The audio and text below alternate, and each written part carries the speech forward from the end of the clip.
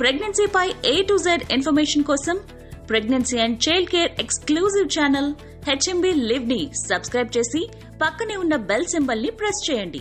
So that you don't miss any of our videos పుట్టిన తర్వాత baby wait ఎందుకు తగ్గుతుంది? ఎంత తగ్గుతుంది? ఎప్పటికీ తగ్గిన బరువు పెరగాలి? ముచ్చటగా మూడు పాయింట్స్లో హెచ్ఎంబిల్లి అందిస్తున్న ఈ వీడియో మీకోసం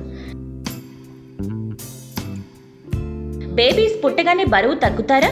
తొమ్మిది నెలలకు పైగా అమ్మ పొట్టలో ఉమ్మ నీటిలో ఉన్న కారణం చేత పుట్టినప్పుడు బేబీ శరీరం కొంతమేరకు ఎక్స్ట్రా నీటిని కలిగి ఉంటుంది.